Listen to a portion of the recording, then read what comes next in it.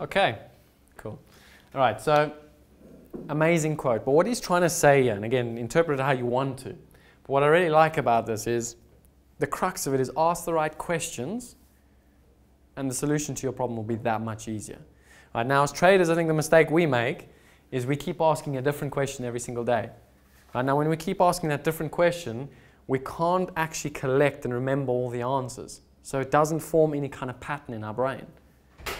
Um, and the, the, example I like to use, imagine, you know, someone said to me um, yesterday about time, and we were talking about the concept of time.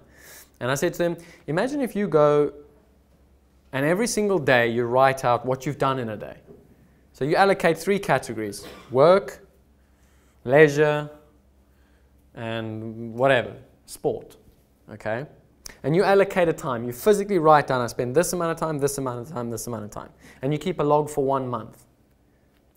Now, most people seem to think there's very little time, or they have little time, or they don't have time to do the important things. That's always the standard excuse, okay? But we never ever objectively go and look at it and say, well, let me actually look at the facts, which is how much time does exist, because we never write it down. But by asking that right question, how much time for leisure, how much time for work, how much time for sports, we can then go look at the facts. And the facts are, well, actually, we probably spend about 50 hours, 60 hours a month leisure, watching TV, relaxing. Okay, so the next time someone asks you effectively, ultimately how much time you have, and you come with that stock standard answer of, I don't have much time, I don't have time, just think about the answer. Think about really, do you have time? Okay, and that's the crux of it, is that Albert was trying to tell us, ask those right questions, and the solution is going to come that much easier. And that's why I really like that quote.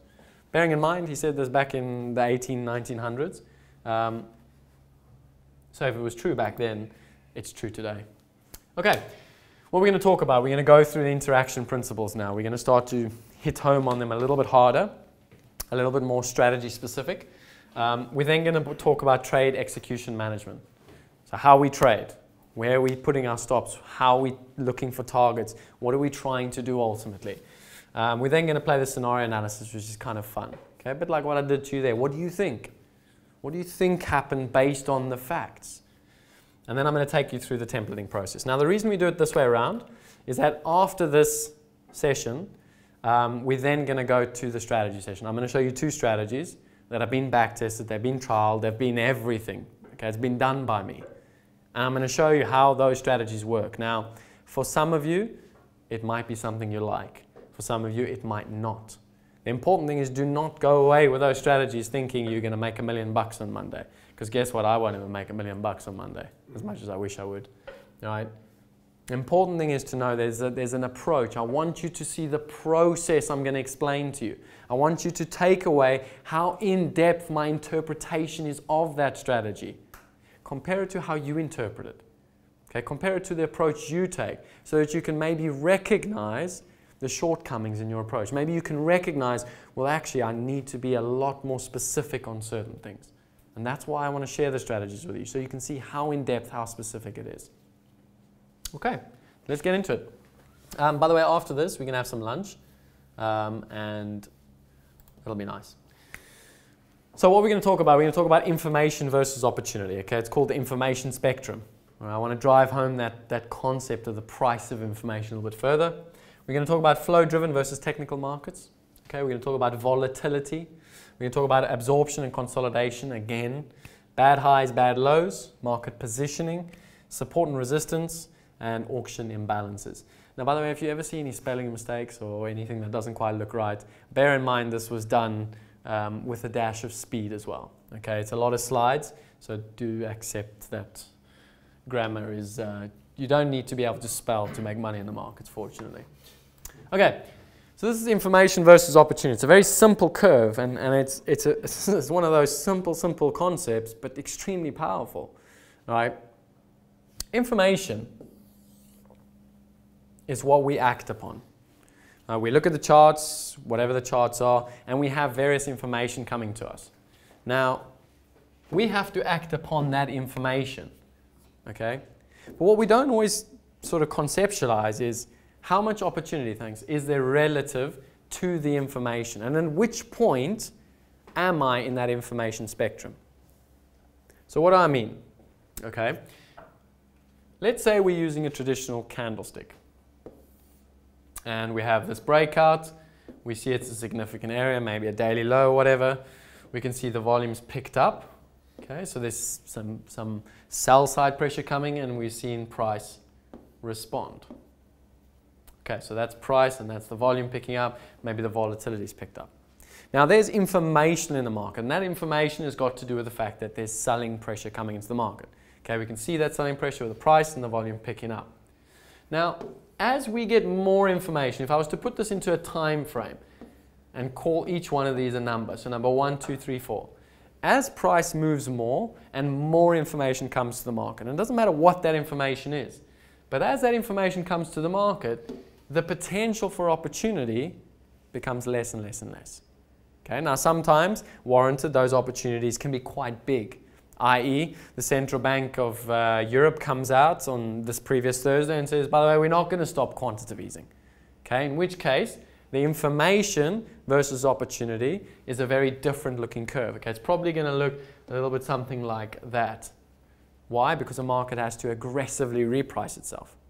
Okay, so this curve is going to look very different based on the different types of strategies you take. The important takeaway from this is as more and more information comes in, your potential for opportunity becomes less and less, right?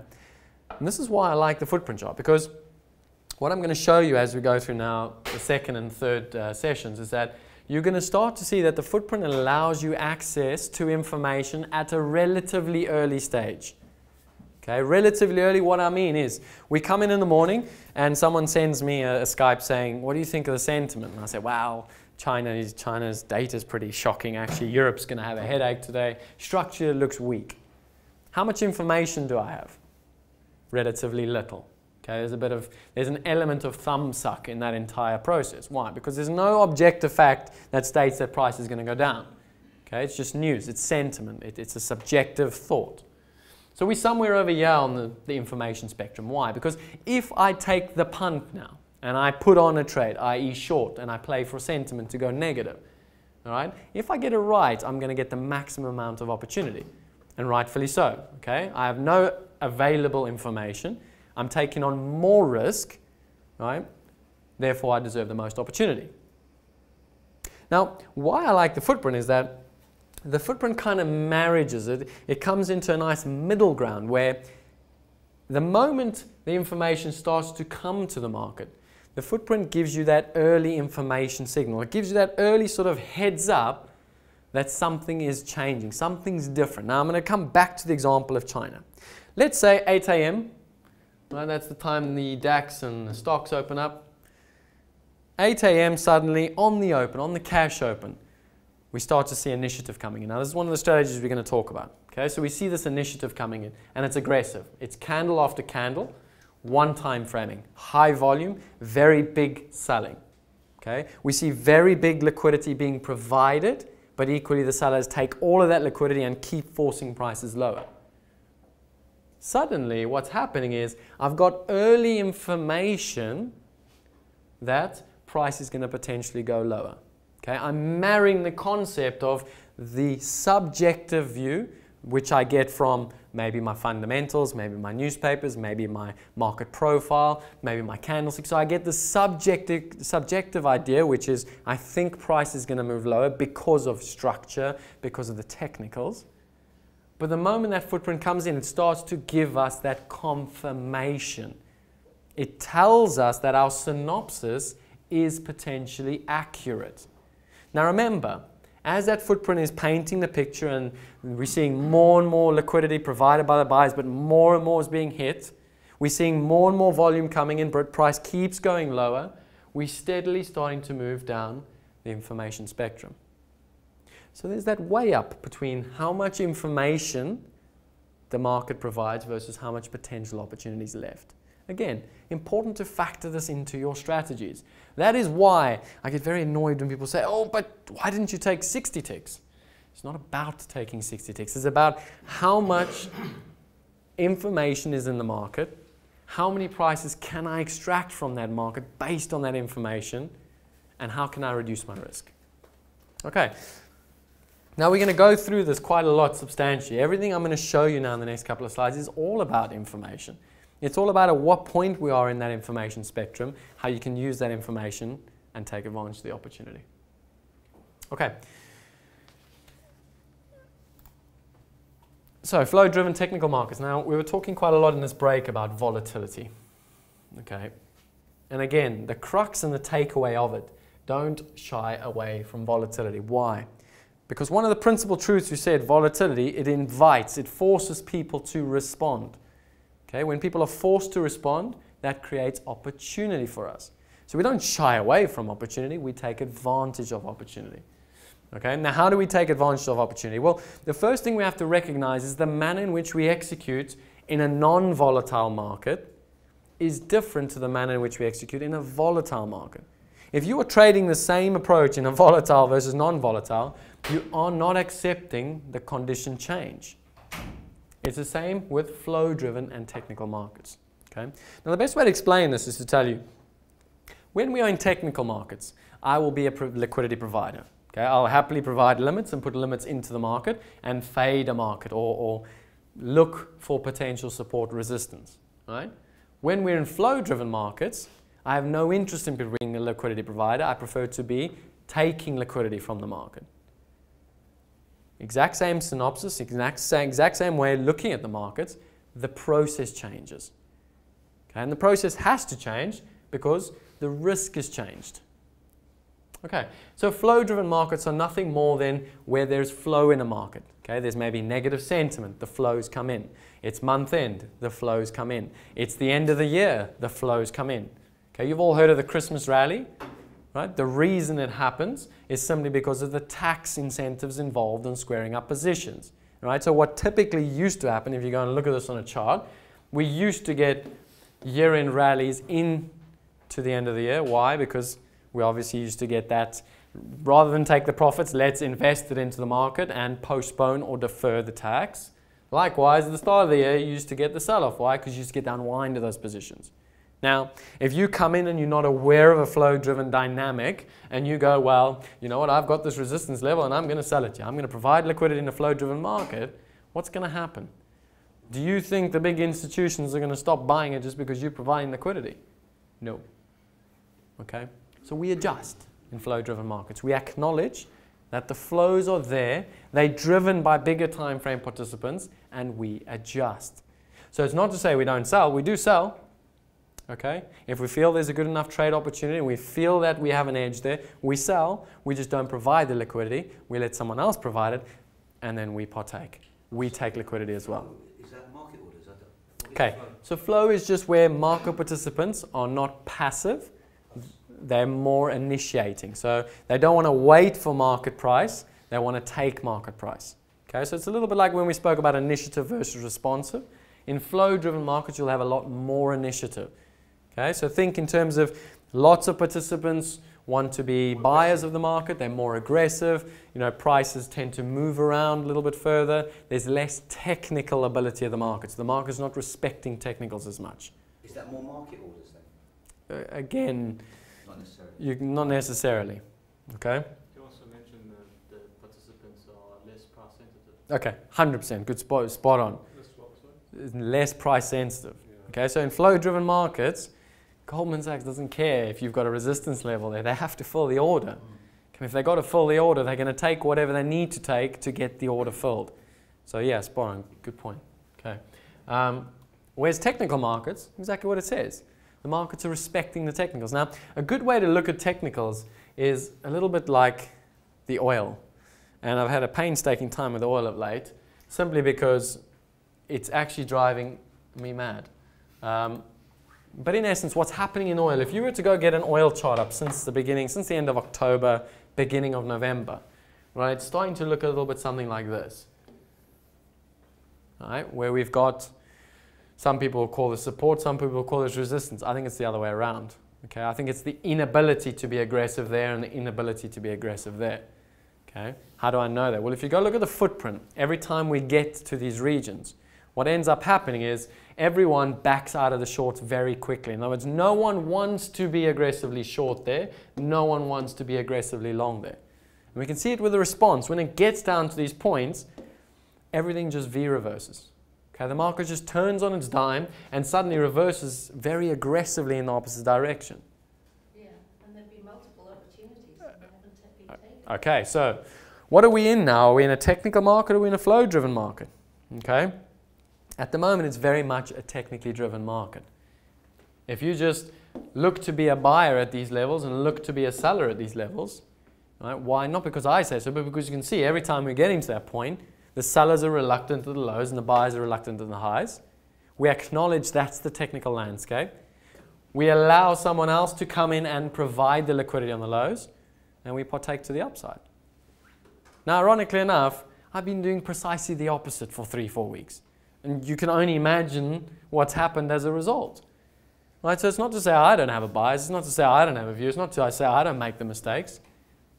The important takeaway from that is the lesson from it is that they are factual observations, facts, undeniable facts that we can take from that oil. I've just chosen to trade as a trader to not execute based on those facts. Okay, I'm, I'm, I'm being presumptuous in hoping that that's going to change, that maybe someone's actually going to start selling it there and taking the initiative, or maybe someone's going to start buying it there. I'm going against the technical landscape of the market. Now that can change. Okay, we could find oil takes out 49.50 which is now our yearly low since whatever 2016, 2017. And we could find the flows come in. Anyone long just panics and the market capitulates again, like we did from 78 down to 49.5. We could go another $10. The flows could come in. If you stand there and start to provide liquidity in a flow-driven market, right, you know what's going to happen. If you stand there, you acknowledge it's a flow-driven market, you allow someone else to provide liquidity, then you partake, the odds are in your favor. Okay, and that's what the footprint is. It's about getting those odds in your favor, playing the game in your favor. Remember what I said to you right in the beginning? Every game has a set of principles, a set of rules. You have to know how to bend those rules, bend yourself within those rules. It's not to say we don't buy it. Heck, if oil drops $3 on Monday below 49, I'm going to be looking for a buy. It's gone way too far. Of course, I'm going to look for a buy. At some point, someone's going to buy it. But I ain't going to be the first jack to buy it. Let someone else stand in the way, provide liquidity, then give it a crack. Bend the rules in your favor. The rules do not say you cannot buy. The rules say that when there's flow, there's going to be a lot of panic. Know those rules, bend yourself in those rules, and partake in those rules. Would you say flow is more fundamental? Uh, yes, it, flow would generally be more fundamental based, but it's generally, I think, if you were to summarize it one thing, it's, it's price directional so there is natural price direction, but it's also, it, it doesn't respect the technicals. Okay, there's no respect for any kind of technicals because it's not being driven by anything other than big time frame players are coming and they need to execute orders. Okay, everyone happy with that? Brian, Yes. You just uh, that you've been misplaying this market. Yes. And it's you didn't enlarge on on that. It's quite an interesting point. Yep. So how did you expose your uh, from journaling? Are you going to enlarge on uh, how you picked yourself up? Okay. Um, the, the simple answer is I've been journaling it and I've been aware of what it's doing. Okay. But I haven't been willing To admit it. To stay in mindset. It's a difficult one to say because I think finally, I mean, to call it what it is, I've actually been looking more on the long side of the trade. Um, and then this week I decided, no, actually, it's looking very technically weak now, so I want to go short. So, and now I'm stuck and I'm, I don't, psychologically, I, I don't want to trade it. I feel like it doesn't matter what I do, I'm going to get punished either way. So I've gone to that sort of, that state of mind now where I'm not looking at it, I'm not following a process, put it that way. Okay, I'm, I'm, I'm gambling in oil. That's in essence what I'm doing. I'm not sure of my own process in this oil right now. So how do I overcome it? Well, I can back out of it and just give up and come back to oil next year at some point when structurally it makes more sense. But I'm not going to gain anything from that. Okay, and that's why as a trader, what you have to learn to do is sometimes you're going to battle. Okay, I've not made a drop in the oil for three, four weeks now. I've only lost in the oil. Okay, and I don't enjoy losing. But every time I'm paying for information, okay, like I just said to you, I am 1000% guaranteed for sure that there are reluctant sellers and reluctant buyers at highs and lows. I know that for a fact. I can see it. Okay, and I can see it because I keep reinforcing it every time I'm losing, going, well, why are you selling yeah, if everyone's reluctant to sell it? So what do you think is going to happen the moment I see on that footprint that those sellers are no longer reluctant? There'll be a shift in structure. Okay, so what am I going to do instinctively? Sell it. Okay, how am I going to sell it? Actively. Aggressively, hard. I'm going to make sure that I get paid for every single frustrating day I've taken in the last three weeks. You, haven't really made a mistake. You are just observing and you've been paying. Okay, so you've nailed something in the head there, right? Who plays poker? Yeah, I do. I do. Okay, so we've got one poker player. Now, one of the biggest mistakes that poker players make, poker is not a game of cards. Everyone thinks it's about the cards. It isn't. It's about, it's about the telltale signs. It's about asking the right questions of your opponents. Okay, you can have rubbish cards and win. You can have good cards and lose. Right? So it's about making sure every question you ask of another player, you're asking it so that you can get a specific response. I bet high. How does he respond? I bet low. How does he respond? Okay. It's the same thing within the markets in a day. We have to keep extracting information from the markets. The only way we extract that information is by being physically active, by taking the losses, by losing money. But making sure when we lose money, we still go do that debrief. Why did I lose money? Who on earth is buying it here when I'm selling it? Why are they, why are they so reluctant to be a seller? What is the nature of that selling? What does it look like? Because I can tell you the nature of that selling every time in oil, and I can get an oil, we'll get to that oil, I've got a chart of it somewhere. Okay? The nature of that selling is the same every single damn time. So guess what? It's going to shift. 100% it's going to shift, which means when that selling shifts, or equally when that buying shifts, I'm going to be able to take advantage. Because I've been asking the same damn question about it for the last three weeks, losing little bits, little bits, little bits, always managing the risk. I can guarantee when the time comes, my job as a trader is to take advantage of the information I've already paid for. Okay? And that's something that I think a lot of younger traders back off from. They, they shy away from it. They're afraid. Oh, I just lost five times in a row. Let me go and, you know, just cry about it. How many Okay. ticks loss would you take in oil? I'm sorry? How many ticks tick loss would you take? Depends on the trade. Yeah. Okay, like we'll talk a little bit about footprint strategies later. It depends where I'm wrong. Okay, mm. so at the end of the day, I'll keep losing this oil because I'm paying for information. When the information changes and the opportunity exists, I'll still take that opportunity, but hopefully make back everything and some. Okay, and that's the crux. It's a little lesson for all of you. Don't be afraid. Don't shy away from it. Get stuck in. Okay, this isn't a job that's nice. It's not, not going to pay you because you work hard, because you're a nice person. Okay, it doesn't work like that. It's going to pay you because you have the tenacity and the determination to keep coming back and take the pain every time. Right? Go look at every greatest leader, every greatest success story. All of it has the same repeated story, which is I struggled my ass off, I failed, I wasn't good enough, but I got back up, I came back for some more, and eventually I got to the top. Okay, what we got here? Nice little E-mini S&P dailies. I just want to kind of bring some sort of an observation. If you want to try and differentiate between flow and between technical markets, okay, one of the key characteristics you can look at is the nature of the shift in volatility. Okay. So typically speaking, a flow-driven market, like someone said, bless you, is very similar to a trend day. It's where there's price direction, but there's also a response in terms of volume and flow. So typically speaking, when you get very high volumes coupled with very high ranges, those would typically be flow-driven days. Now, if you want to go learn a little bit more about this, go and get this up. Draw this basic synopsis of where we got relatively high volume. Note we call it relatively high because it's above the five-day moving average. Those are just simply five-day moving averages. At the top we've got volume, at the bottom we've got range. Okay, so we want to observe a relationship, which is when we have a high range and high volume, what does this day type look like? Let's go and zoom in. Let's see what it looks like to be a buyer on that day. Let's go and provide liquidity in this market and see what it looks like getting my ass handed to me. Okay? Now, this is the mistake traders make. They'll go and they'll shy away from that. They'll say, well, it's volatile. Wow, that just did 80 handles. I ain't touching that. Right?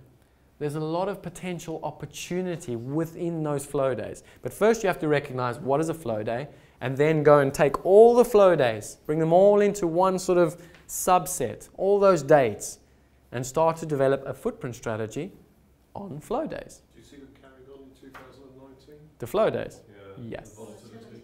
yes. Yeah. Hope so. Hope so. Okay.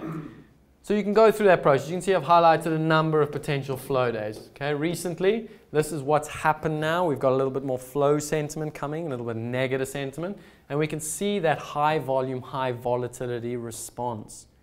Okay. Whereas if we compare that, i.e. the low volume days, the average volume days, okay, we can start to also see the technical day types.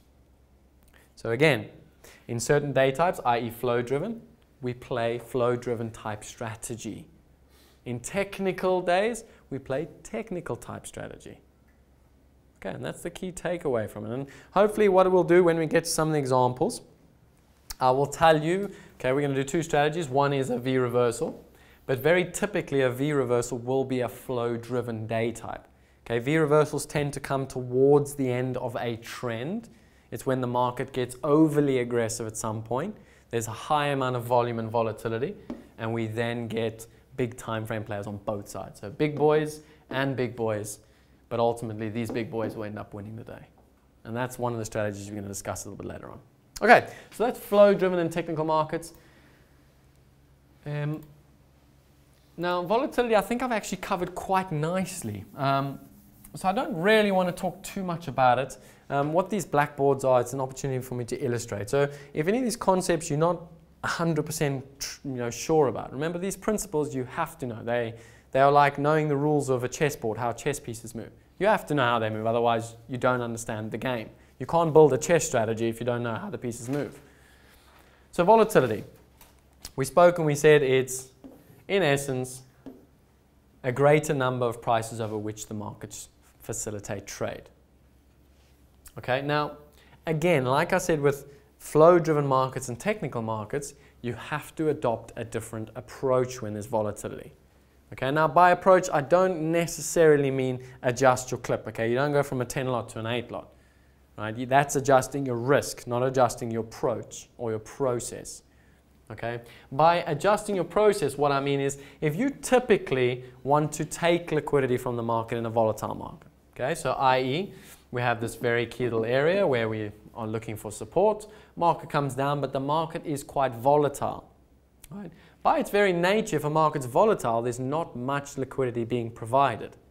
In other words, in a non volatile condition, it could come down and tick that price called 47 to the tick and rally. And you'll look at the charts then and they go, woohoo, I called the low.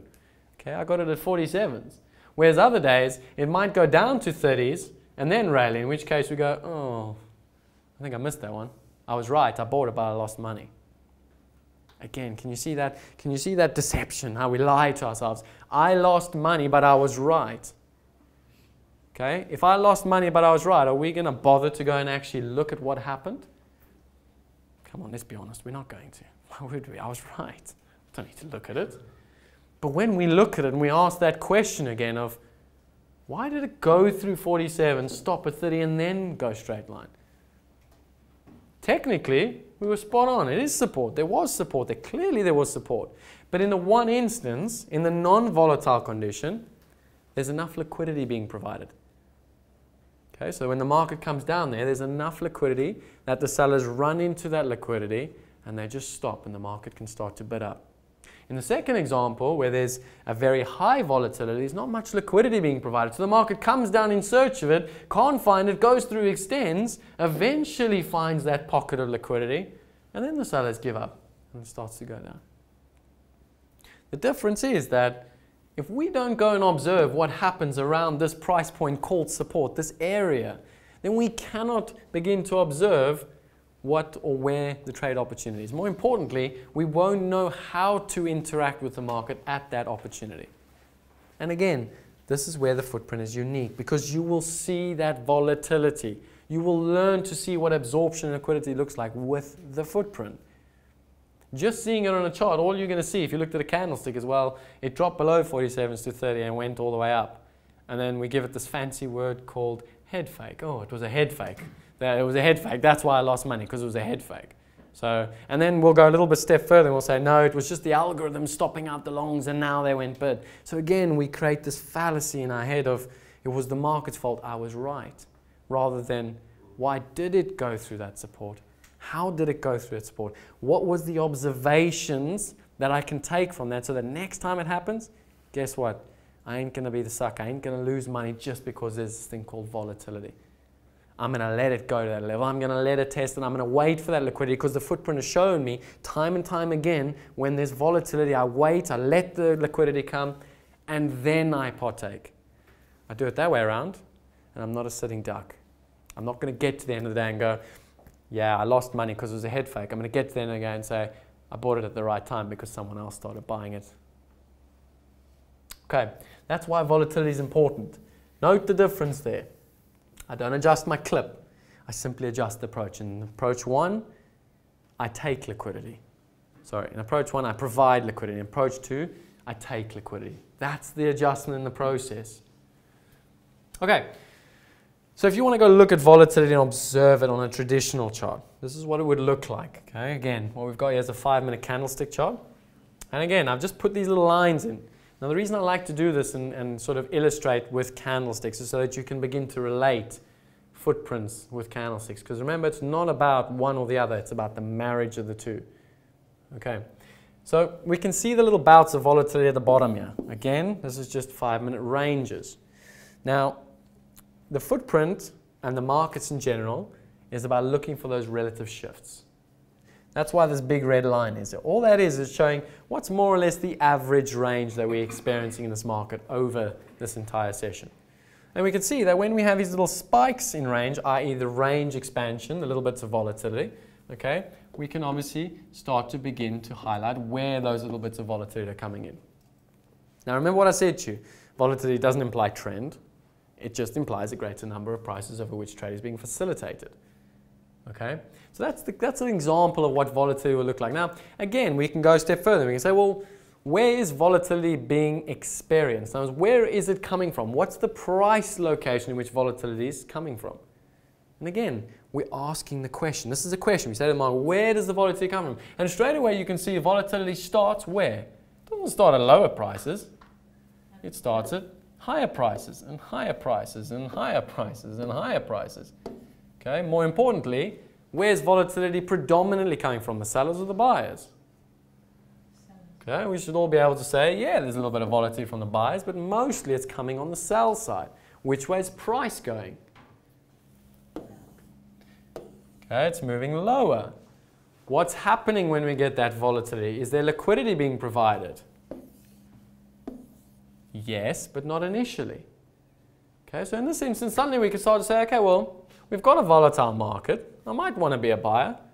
And if I'm a buyer, do I want to be just randomly fading it? No. Let the liquidity come in and the buy opportunities exist. The buy opportunities exist. The buy, the buy opportunities existed the entire day. Okay, so again, don't get too fixated. There's no strategy, there's nothing yet. It's about being aware of a conditioning called volatility and what it implies in terms of opportunity.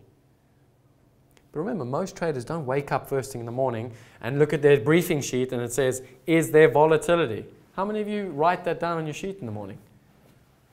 Okay, does anyone write it down? Probably not. Do you think volatility impacts your trade strategy? I should hope so. Okay, so again, it comes back to Mr. Albert. Spend 55 minutes asking the right questions and five minutes solving them. Trading is not a game of, you know, solving problems. The problems take you a couple of minutes, a couple of seconds. You've got to spend the 55 minutes developing the approach to which you're going to solve the problem at the end of the day, not the other way around. And yeah. Okay. Absorption consolidation. I'm going to go through this again. And I'm going to just start to drive home the concept of what we're looking for. Both will look very similar. We're going to call this distribution. The major difference, the significant difference between absorption and consolidation has to do with the volume traded. Okay. So, in essence, what happens in terms of price here is price is simply just navigating between two price points. Okay, it might come from the start of a trend, it might be that this is how the day started, but this is a type of price response. It's a way in which price is trading in essence. There's no real price pressure to the upside or to the downside. Now, the reason we have to differentiate between absorption and consolidation is simply got to do with the fact that high volume absorption will resolve itself. In other words, we have very high volume in the space between price 10 and price 18. Significant amounts of volume are coming in. Every time we come to the low, those sellers are hitting, and they're hitting hard, and they're hitting hard, and hitting hard. And the buyers just go response, response, response. And eventually the sellers give up, and the buyers go initiate, initiate, initiate. Okay, we get to this top price point, and the sellers go respond, respond, respond, provide liquidity, give the liquidity. And the buyers give up and the sellers go initiate. Okay? So what are we seeing here? We're seeing effort. Who's the effort coming from? Buyers and sellers. Has to be. Okay, why? Because if the buyer's absorbing, providing all their liquidity, it means someone's giving them all that liquidity. So there's effort there, and there's effort there, and there's effort there, and there's effort. Now, what happens when we get effort on both sides? Eventually, that energy, that built up frustration energy, is going to resolve itself. That resolution will resolve in a continuation of prices. Now, I'm going to give you, I'm kind of leaning ahead here, but one of the tricks you learn with absorption is there's usually a very good telltale sign in telltale sign in absorption. Okay? The interaction at these lows is usually quite interesting. At the lows, you tend to see almost a very negative delta, okay, which shows you the absorption. Why? Because it shows you the sellers are selling into the bids, hitting it as hard as they can, and the buyers just reload, reload, reload. So the buyers are passive, the sellers are aggressive. And that gives us the continued negative delta. Okay, and a lot of people go, oh, there's negative delta here, and you know it should be going down because there's all this selling, all this volume, all this negative delta. But they're not taking into account the price response. Remember, when we put a lot of effort in, we need price response. Otherwise, it's telling us someone else is on the other side. So, if we know that in an absorption, that there's going to be a lot of effort at the low, what would you think would be the telltale sign that actually eventually this is going to resolve itself? Okay, you're on the right track. So one side's going to give up. So what's the telltale sign then? Where the effort leads to price change. Spot on. So finally, finally, all that buying, there might still be absorption, here, but all that buying now is getting rewarded with a price shift. So very often, if you want to know when a market's now going to resolve itself, wait for what we call the conclusive close. Okay, and a conclusive close is just nothing more than a confirmed close. Confirm to me that all my effort is finally being rewarded with a price shift. In other words, when the market finally gives that, if that's a five minute candle, let's draw nicely. Five minute candle, nice, full bodied, buyers finally get rewarded. Ding, ding, ding, the signal's changed. Do you wait for that to close and the next one to? Okay, wait for that to close, and then you want to enter. So where does the stop go?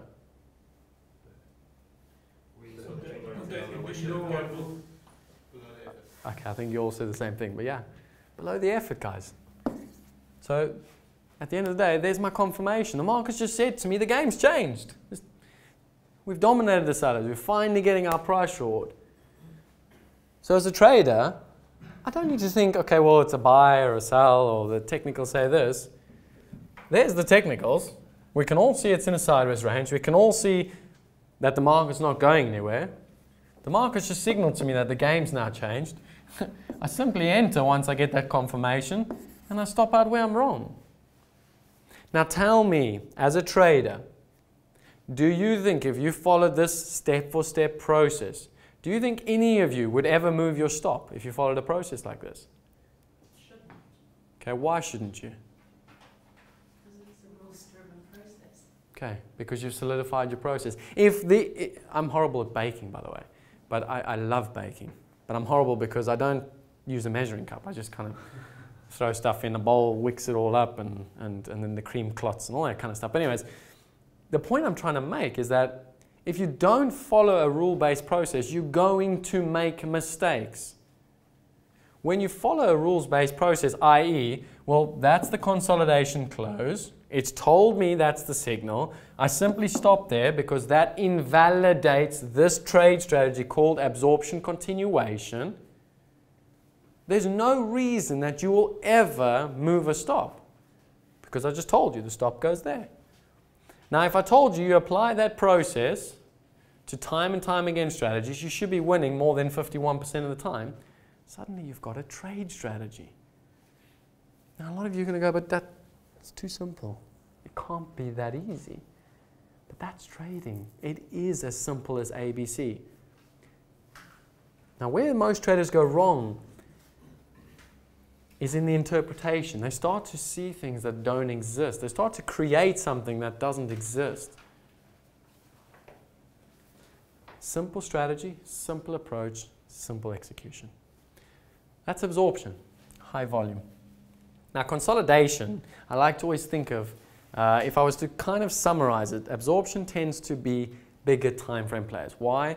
Because in order to transact kind of volume at the lows and at the highs, you've got to have quite a bit of volume behind you. All right, so consolidation is almost the flip side of that. Consolidation tends to be more algorithmic in nature or, or lighter volumes. Now, the major reason why we distinguish between the two, okay, is because one on a footprint is going to look a little bit different. In other words, you're not going to get the aggressive negative deltas at the lows and the aggressive negative deltas at the highs. If anything, what you're going to get, you're not even going to get absorption, you're not even going to get dark colors, you're not even going to get liquidity. You're just going to get the market pinging off price points. Now, the reason we differentiate is because the likelihood once we break in either direction, the likelihood of continuation is not as high as in the example as absorption. Do you understand why we have to make that differentiation? Okay? If in consolidation we find that the probability of extension is 38%, but in absorption it's 58%, is it important for us to differentiate between absorption and consolidation?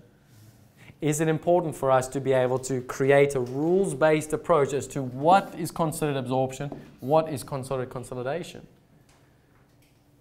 Okay, and that's the approach we take not just with a concept like absorption consolidation, it's with every single concept.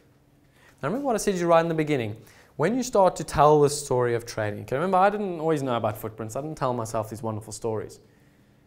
But when I started to tell the story, I told the same story I've just told you now, which is when there's that high volume, that very aggressive intention, all right, and it starts to bounce, that's absorption. Now, someone might say to me, No, I don't agree. And I'd say, Fine, I don't need you to agree with me. That's my story. And that's the story I observe day in, day out when I debrief. So long as I keep observing that story and I keep executing based on my story, that means my structured process will continue to remain consistent. Which means the outcomes won't always be profitable, but there will be consistent outcomes. And so long as I'm winning more than I'm losing on it, okay, if it wins 10 ticks and I'm only losing two, and I get it wrong three times, but I get it right three times, I'm making money. Can you start to understand how we move away from this, this feeling of, I have to be right, I have to get this right, I have to make sure price goes up or down? It's not about which way price goes. What is price doing? What's the market doing? What can I observe with that market, what it's doing? How can I apply myself within that market? Now, there was a beautiful term I learned from one of the Axia traders. Um, fantastically engineer. The kind of guy you would think always has a pencil in his ear. But he was very adamant on a concept called access in a market. And I'm going to share this with you because it's very, very important. So I've just explained this example of absorption. So let's, we'll come back to completing consolidation in a minute. Let's say this is our absorption example, okay? And I've just said to you, for example, that we get above this high, the market effectively gets above it but closes all the way back down. Now, instinctively, what's very often going to happen as a trader is we're going to get all excited. We've just observed this pattern that we've been working hard on. It's going to break out of that high, and we're probably going to want to preempt slightly. Okay, it's natural.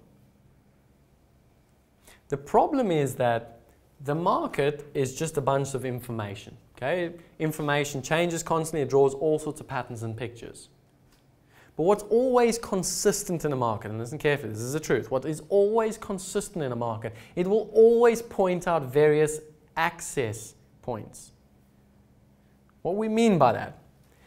In this example, okay, if you went and drew out absorption and you went and found this in 10 markets over a space of the last year, and you went and you had the same rules-based fact approach, and you went and pulled out every single time there was, say, a full bodied close above the absorption points, either the high or the low. And you go and observe what happens beyond that. Okay, what you are creating is, in effect, an access point. In other words, you're saying to the market, this is my conditioning. This is what allows me to access this concept called absorption continuation. Without this candle, do we have a trade? Anyone? Do we have a trade? What do we have? You always have a trade, but it's riskier Okay. without, without the confirmation. Okay, so in essence, we don't have a trade. This job's not about trading, oh, guys. If the market gives you access to an opportunity, only if it gives you access to an opportunity, do you trade it? The wonderful example we always look at is breakouts. Okay, we all like breakouts, correct? Now, and this is something I had to spend a lot of time reflecting and thinking about because FOMO is very apparent in um, many traders, including myself. Okay, so let's look at a breakout and, and we'll finish this here. There was a good example in that, of that in oil yesterday afternoon, of trying to trap buyers who, who'd missed the opportunity the day before. You see, it kept, it kept on saying, come on, come Okay. on, and then it, I'm, I'm, I'm, I'm, I'm still sensitive about oil. Um, Didn't you tweet yesterday about oil? You said? I don't, I don't remember. Okay, so let's look at this breakout. And I, want, I really want to drive home this access point uh, concept, guys, because it's incredibly vital. So we have this breakout, and I don't know if most of you have done the free, uh, on the footprint course that Axia provides, there's a free section about breakouts. Okay? We talk about a signaling in breakouts where we have a shift, particularly uh, in execution and liquidity. Okay, so what you tend to see just before a breakout, it's almost like the peaceful calm before the storm, and you can see the, the build up and pressure. There's almost like there's nothing going on, and it just starts to build and build and crescendo. It- it- the best breakouts always start with that crescendo, the signaling. Okay, but now what very often happens is sometimes the market just goes straight through. Now, traditionally, breakouts, people say just put your stop limit there, and when it closes below the candle, you just run it down and become a millionaire like that. But what very often happens on breakouts is sometimes it just keeps going. It doesn't give you any form of an access. But a very, very good footprint access, and I'll show you this in examples later, is when we have that break, so it just breaks the level. So we always talk about early, early interaction, which is the signaling from the market. We do, with a breakout strategy, do have early signals we can execute on. But if we don't get the early signal, do we have access? Anyone? Okay. So the crux of it. How many of you would just sell on that level? Let's be honest. How many of you would just sell on that level because you think it's a good breakout? Anyone? Okay. Okay, so some people will just sell on that level. Fair enough. Okay, I can understand that. So do the algorithms. They do that as well. Okay, different strategy approach they've got. The point I'm trying to drive home is that if the market gives you access, in other words, let's say it signals to you the relative shift, and we'll talk about this.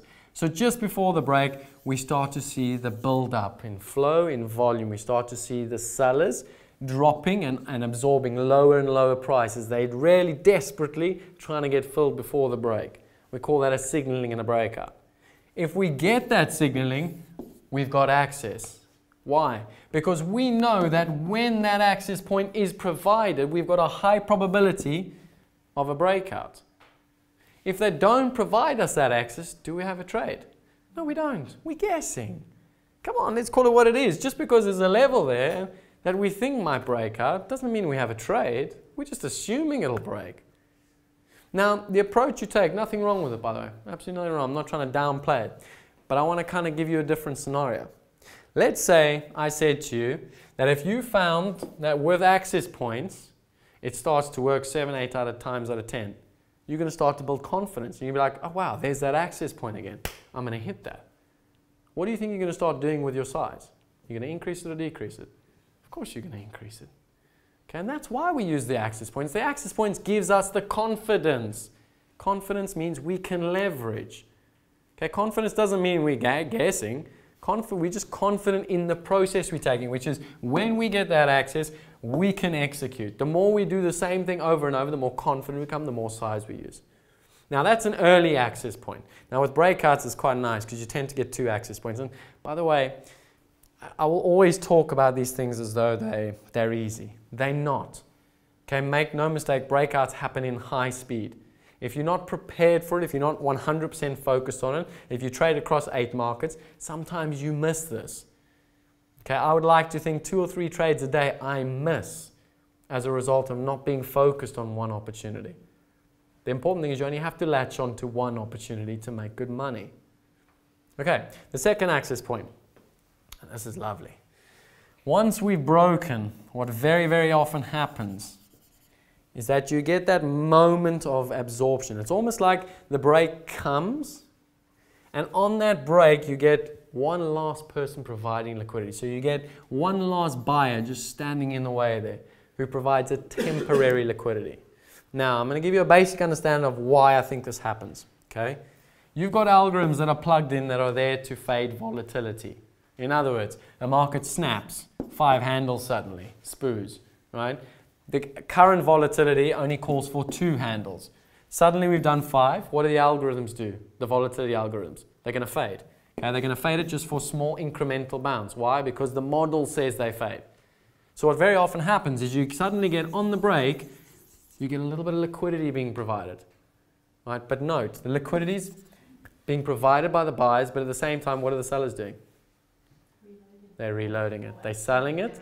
Okay, so what's happening is you're going to get something like this. You're going to get, if this was a footprint, you're going to get 1,000 by 1,000, and you're going to get maybe 2,000 and maybe 2,000, something like that. Okay? So what ends up happening is you've got this hive of activity. Buyers are lifting offers, but the offer keeps reloading. Equally, the sellers are selling into that bid. And you get this hive of liquidity being provided just on the break. And it happens so quickly. That's the hard part. I'm talking 10 seconds, guys. 10, 15 seconds maybe. And as soon as that buying stops, what does the market do? Gabam. Two access points. So I come back to that same question I asked you in the beginning. Do we have a trade if there's an access point? Yes. Okay. Some people might, um, might disagree. But those very same people don't understand that the concept of what we're trying to do as traders, we're not trying to be small. We want to use leverage. We use leverage when it's in our favor, when we get those access points. Now, what I am going to say to you is it's not that simple. You just go look at breakouts and look for these access points. Okay? You are definitely going to see those access points. When you start using the footprint, you're going to begin to recognize those accesses more often than not. But they evolve. Okay, like I said to you, sometimes the market just breaks and goes. There was one in Eurodollar actually. It was, a, it was a positioning unwind, and I was looking for my access point, and the next thing I had to end up just selling it there. Okay, so what do I do to adjust? Well, I'm not going to miss out on the sell off just because I haven't been given the access point but I'm not necessarily going to do the same size as I'm going to do there. Why? Because the risk parameters are different. So I still want to partake. I still think it's a good sell. I've still got some form of understanding that price will go lower, but I've got no conviction in it. So to answer your question, 100% sell the line, of course. Okay? You could probably sell that line nine times out of 10 and take a tick. and be successful. It's a good strategy. But what are we after? We're after the access points so that we can do it with conviction and size. That's, that's the crux of it, guys. How quickly would you pyramid on top of that if you were obviously right? So again, what we, what we tend to teach, and it comes back to that information spectrum. At the top here, we've got less information than we have at the bottom here. Hmm. Okay, so for me, that's an early trade with slightly smaller size. That's a second trade with less information with slightly more size. Why? Because I've got more information there. Okay. Beyond that, do I want to be selling it down there? Probably not. By the way, with regards to this, where's our stop? Where's the stop go? If we're early access, we're preemptive, where does our stop go? Above the access. Okay. So if we pyramid, hit the second one, where does our stop go? the second access. Above the second access. Same place. Okay. Again, no right and wrong, guys. No right and wrong. Why, why not above the second access? No right and wrong. Okay? For me, you don't want to go by the second access because there's a little bit of volatility coming in, yeah, that Yeah. you might just get flicked out and then it goes. But Especially on your added, on your added size, Mhm. what you don't want to do is going back to the first point still with the same added size. Why right? not? If if you start to see it goes above the, Mhm. the, the access point, then you want to unload. Okay. The- no, I, I don't know. I'm asking. No, no. It's a fair question. Okay. Remember, by hitting early, we get basically first price advantage, right? Once we hit that second, we're going to drag our price somewhere down to more or less where that trigger, okay, we call that a trigger line, to that trigger line. Now, what's the objective on a leverage trade where we have an access point? Is to leverage to take advantage of the strategy. Am I concerned if I lose five ticks on a high probability strategy? So why would I risk? And this is the thing. Stop management is crucially important. You don't stop where it feels comfortable, where you can save a tick. You stop out where a trade is invalidated. Okay? We give ourselves that protection. It's not to say you could put your stop then, you could be fine. Okay, but for me, given the nature that is going to be volatility, imagine, imagine the market goes bid up and it ticks a one lot onto you and stops you out. And then pukes. You're just going to be infuriated with yourself. Okay. The crux of why I wanted to get, get around to that is not about where the stop goes. Okay, that's, that's not important. Today is, is not about numbers, guys. It's not about where I put the stop. Remember, today is about you learning your own approach using the footprint. Okay, for some, they might want to put the stop there, some there. It's completely up to you. I'm not going to tell you what's right and wrong.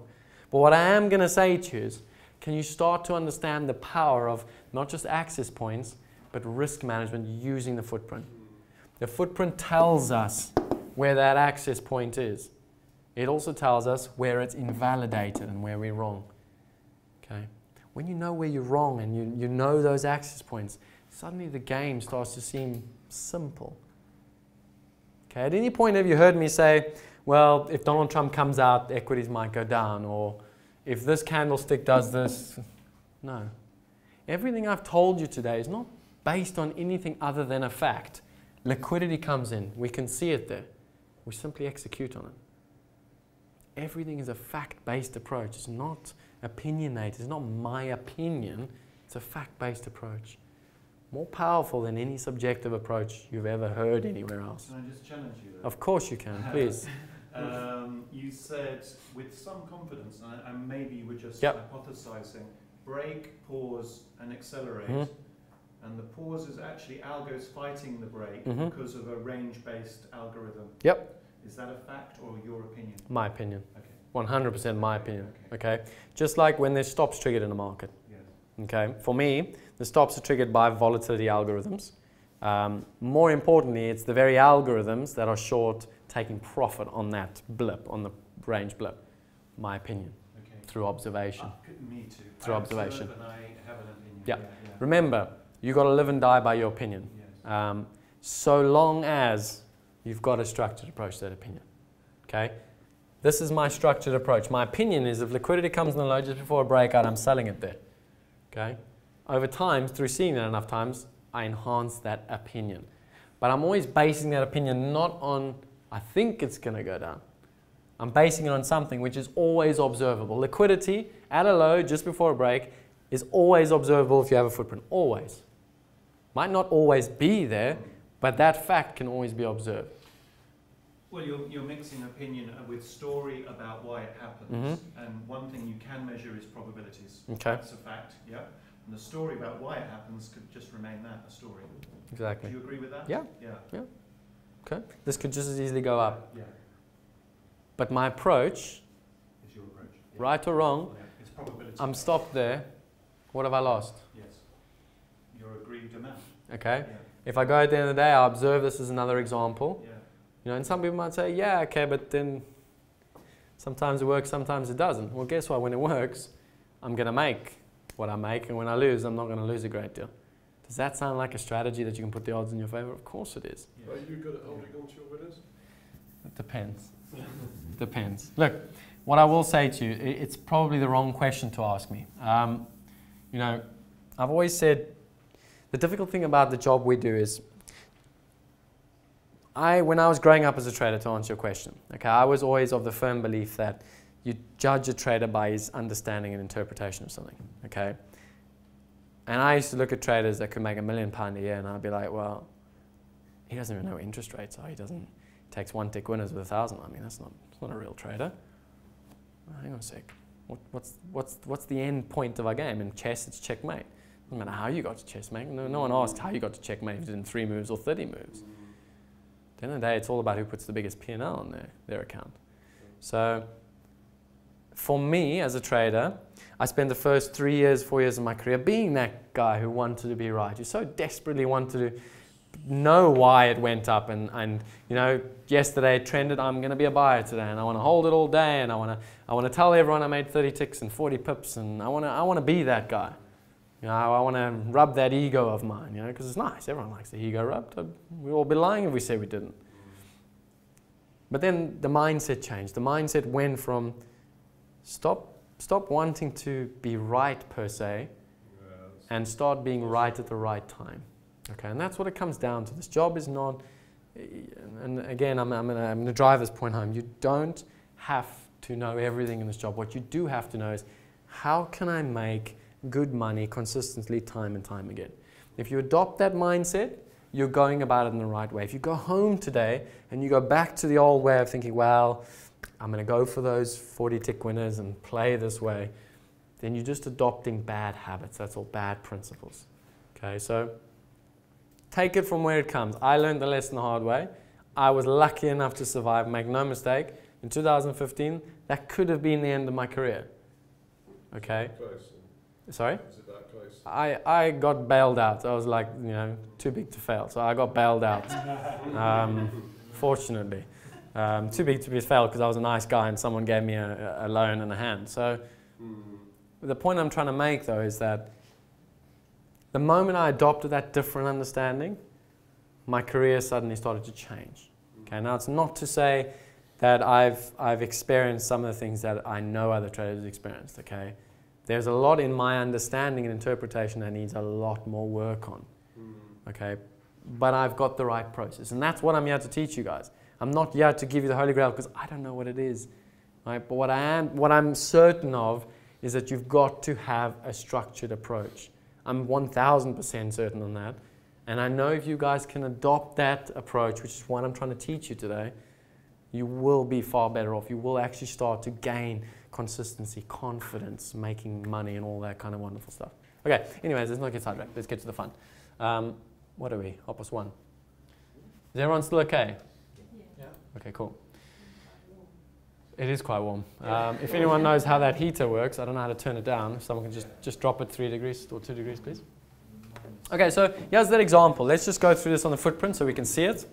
So here's our example of, of absorption consolidation. And I've, I've explained this to you quite well. We're looking for the passive aggressive, the delta versus price change, the delta exchange. And what we can see, every time we come to these lows, we get these dark colors. Okay, that's the liquidity being provided. Okay, every time we come to the highs, notice the liquidity, the darker colors. And this is in essence what's happening. Notice the dark colors at the bottom. So market is absorbing. Okay, the, the sellers keep trying. We can see they're selling with a negative delta, but we can also see the volume picks up, which is telling us all that effort is being absorbed. That's what absorption is. It's absorbing the effort. Okay, it's not to say that they won't eventually overwhelm the buyers, but right now It's not going to happen. Okay, and likewise, we can see it to the upside. So the buyers come and they start to put pressure on those sellers. They just can't get through. Eventually, they back off. Notice the price. Okay, this is the real key. Absorption. You can see the effort being put in, but the price is not quite responding. That's the real clue. Price and volume. Okay, let's get to our next concept. Again, I'm not going to go through this. Candlestick examples. Bad high, bad low. You would have heard this. You would have seen it on Twitter. Okay, but a bad high, bad low is very simple. And again, this is where the footprint is just, it's so much, it gives you so much more information than traditional candlesticks. So sometimes we look at a daily candle like that. Okay. Bullish, bearish. Relatively bullish, relatively bearish. It's bullish. It's a little bullish. Okay, I would, yeah, I I, again, nothing is fine. There's, as long as you don't say bearish, that's fine. As long as no one says that this is bearish, okay? What I'm trying to get at the crux, don't worry about what it means. The important thing is that when we look just at a candlestick like that, we cannot interpret what's going on at that low. Okay, sometimes you have a well-auctioned low, so you'll sometimes see me tweet say, it was a well-auctioned low. We're going to talk about well-auctioned lows when we talk about strategy, i.e. the V reversals. It could be a poorly auctioned low, which is what we're going to talk about now. Bad high, bad low. Okay? So a poorly auctioned low is nothing other than a low where we have a significant amount of liquidity provided. Why do we call this a bad low, bad high? It's very simple. The basic premise of market auctioning is to facilitate trade between buyers and sellers. So, if a market comes down to this point where there should be buyers, and we see a lot of liquidity being provided. Okay? In order for there to be a lot of liquidity provided, we have to have a buyer providing that liquidity. But at the same time, what do we have? We have someone that's selling it there. Okay? And that goes against that principle of auctions. Okay? Because an auction at a discount, right, we shouldn't be seeing a seller being aggressive and showing selling so much volume and, and you know effectively trying to provide and take all the liquidity they can. We shouldn't see that. So when we go against a principle, and you'll see it a lot if you've ever done the market profiling course, um, you'll hear the word anomaly. An anomaly is anything that goes against the principle. Now, one of them, one of the anomalies most of you will know is divergences. Okay, divergence is an anomaly. The only problem is that people don't always define what anomaly is. They just say it's an anomaly, but they actually don't know why they're saying it. Anyways, so when you have an anomaly, something that goes against the underlying truth, the principle, right, ultimately that needs to resolve itself. Now here's the caveat. Okay, you would have heard of ledgers. Who's heard of ledgers? Okay, ledgers in a profile, something that, surprise, surprise, a lot of traders make good money out of. Okay, no secret there. Ledgers tend to resolve themselves. Why? It's not because we have the holy grail and we know that they resolve themselves is because you've seen enough ledgers and seen the response at those ledgers enough times to know that you can make money out of it. The problem. So should you be selling a ledger if it goes up to? No. Okay, so a ledger is effectively this. It's where there is a great hive of activity taking place and the market starts to build a number of tests on a certain area. So imagine this is five minute candles and we test one, two, three, four, five times. The market just cannot get past there. We call that a ledge. Now these ledges resolve themselves. The problem, sorry, that says ledge. The problem is that a bad trader assumes. A bad trader goes, well, I'm just going to go short. Now what sometimes happens with ledgers is the market goes that way. Why? Because there's lots of bad traders that are selling into that, waiting for it to break. Equally, what's happened before we've created that ledge? Once We've had sellers engage, get aggressive, try and sell. Twice, we've had sellers engage, try and sell. Three times, four times, five times. What is that telling us about the positioning in the market? One, two, three, four, five times we've got short trying to sell the market, which means there's a net short in the market. And that's why sometimes ledgers can be extremely painstaking in reversing. Why? Because everyone is on the wrong side. Now, typically speaking, ledgers are created, again, my opinion, Okay, they are created by shorter time frame players, algorithms, day traders, whatever you want to call it, by them effectively selling, trying to facilitate that trade lower, but a big time frame player sitting on the other side just trying to get an order filled. Okay, in other words, one side is speculating on price direction, the other side is just filling out an order. Okay? And obviously, when that market goes back bid, because Mr. Big Boy here needs to fill the order, prices start to rise, and the short term players take it up quite aggressively. So, like I said to you, everything in this job, every time we execute, every time we trade, a bad trader goes home and he says, I was unlucky. The algorithms, they made the ledge not break. I lost money because of the algorithms. Okay, and I can promise you a lot of traders lose a lot of money on these ledge breaks, right? Because they assume it'll break. So rather than the assumption, what do we wait for? That fancy six-letter word, access. So we come in the next day. Remember I told you about colorful lines that we use for anomalies? We put a green line there. We're aware of it. We're not going to assume it's going to break. It could last a couple of days, but we're aware of it.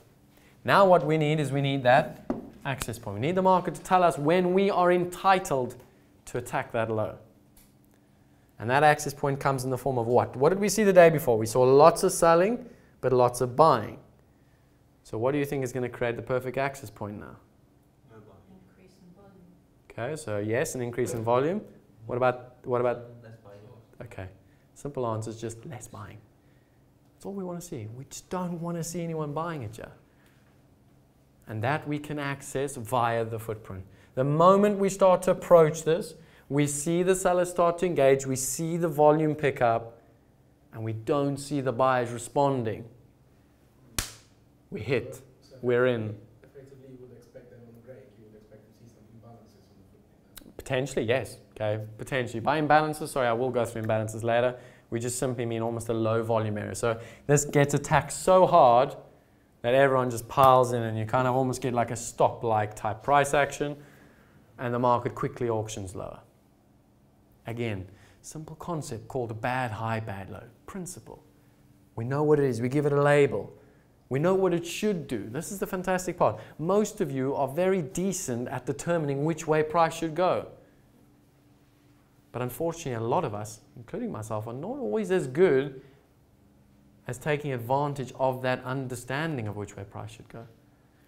When we start to determine the way we can access that opportunity, then we can start to become better at it. Okay, so as an example, wait, wait, wait, wait, wait. something like pri- uh, price activity after that many attempts. Yes, A lot of people would have stops under that level. yes, Yeah, yeah, hence yeah, the imbalances. yeah.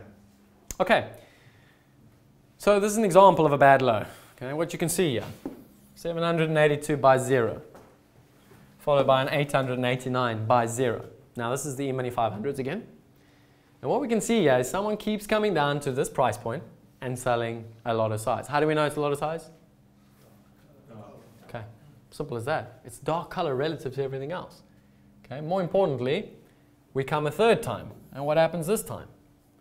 Not only do we see a dark amount of selling, but we also see,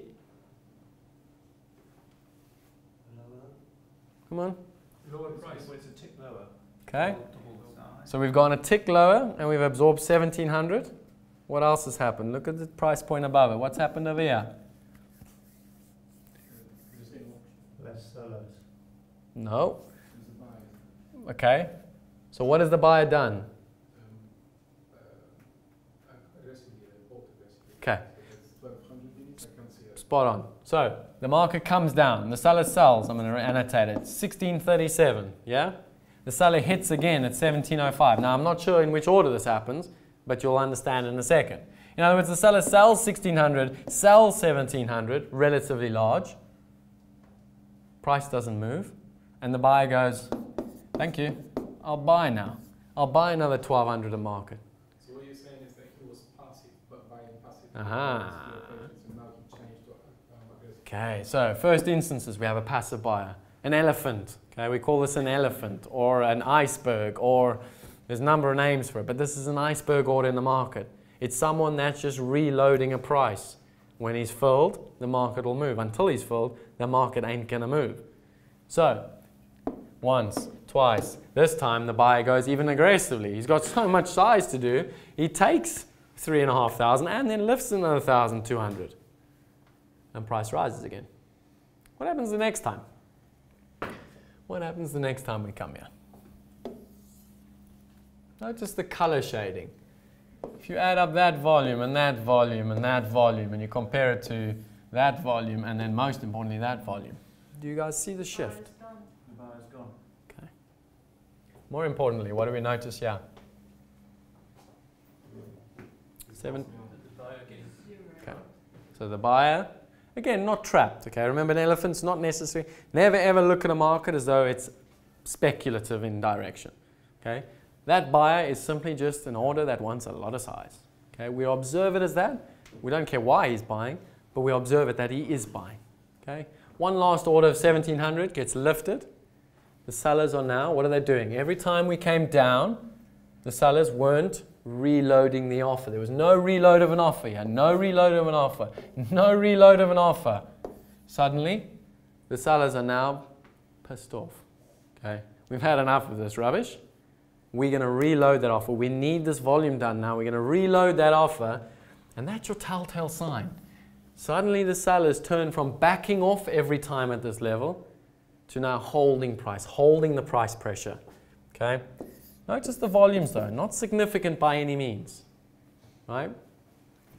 All of a sudden, the next rotation, the volume shifts, the delta shifts, and the ledge collapses. Uh, is the reason why, um, and obviously that's reflected with the light pink color, but Mhm. is the reason why uh, up until that point we have uh, 200, 100, we have hundreds on, on, on both bid and ask, Mhm. and then all of a sudden we have less than 100. So at, at, at what point, um, what I'm trying to say is, uh, uh, is it reflection that this went very, very fast Mhm. and therefore the, the buyers didn't have time to Yeah. jump in? Spot on. Spot on. In other words, what's happened here is that once the market now finally got a whiff, okay, and remember when I say the market, we mean the algorithms, okay? So a lot of this is created by the algorithms. They've obviously sensed, or the sellers now come in and they need to get going on price, okay? But now there's no more liquidity. That's all this is showing. It's just showing suddenly, now, so for the last 45 minutes, there's been plenty of liquidity. Now the liquidity's gone. It's finished. Okay. So there's two things we take from this. We go put a red line here. Why? Because there was a massive buyer there. We don't forget that. We don't forget that there was a very unique buyer there. It's important. At some point, the market will come back and test this point and provide us with a significant sell opportunity. Why? Because this is support. Someone's supporting the market, providing liquidity. At some point, we came back and tested this and offered. Easiest scalp in the world. Okay? But yes, more importantly, the light colors show us that change in the nature of the market, the dynamic of the market. Right? Now notice, notice how it thins out, it lightens out just before the actual break. And that's kind of our signaling clue. Now again, I'm not going to say this is easy. Okay, what I am going to say is that the observations are there, the signaling is there for us to enter shorts. The zeros is our confirmation. In other words, we need to be in before the zeros because the zeros is a low volume area or an imbalance. In other words, the selling is so aggressive the buyers can't even lift a single one lot. The market starts to offer. We get our first little bit of liquidity, okay, which we enter in potentially for more, and we look to just play with the flow, go with the flow.